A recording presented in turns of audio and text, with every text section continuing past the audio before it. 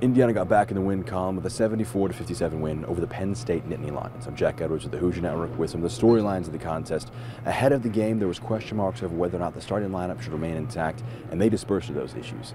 Going on a 12-0 run to open the contest, and forward Race Thompson spoke about the impact the team had and the energy that they brought out in the opening of the contest. I think it really was just about uh, energy, just calming down a little bit, uh, playing with more energy, but at the same time being composed and really keying in on what they're doing.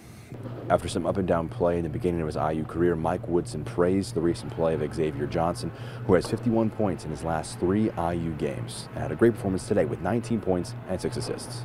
Uh, the Big Ten forces you to really think about what you're doing, especially at the point guard spot. And I think X is starting to slow down and see things ahead of him, and uh, and he's making guys a little bit better around him, which is kind of nice to see because that's you know I've always thought point guards that's their job and what they're supposed to do.